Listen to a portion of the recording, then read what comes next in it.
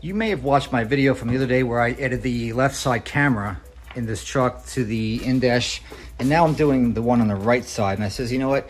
I should probably do a follow-up because this is actually pretty valuable information for someone who wants to figure out how the heck did they get the wire from the left side over to the right side. So let me show you what I've done. This panel, I was actually just pulling on it gently and it just kind of came off on its own free will. So that's pretty straightforward how that piece comes off. That goes right there. It covers that little spot right there. Now, as far as getting the wire through, I dropped this piece down here with the little panel pullers, two little tabs, one there, one over there. Pull that down. You can see I've been in here before. This is my wireless charger. But over here, you can see I had this little piece of hard wire, right? So I stuck it through there. What I do is I take my light and I put it through the right side of the dash. I go over to the driver's side and check this out. When you get down there and look down there, you can actually see the light. It's right there.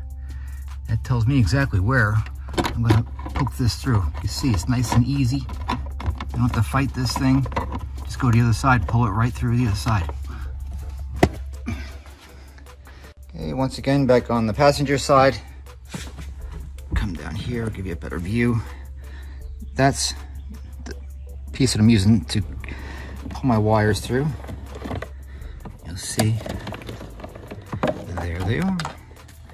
There's my video cable and my power. I'm just gonna pull it right through there. There they are. So from here, I can go across behind my BCM in this kick panel, run it through, and I'm gonna do the same thing I did on the left door. And I'll show you a link below if you wanna know how to get the wires from here, through here, in the door, and wherever you're going. But that's how you get a wire from the driver's side of the cabin to the passenger side in a Ford pickup truck. Now you know.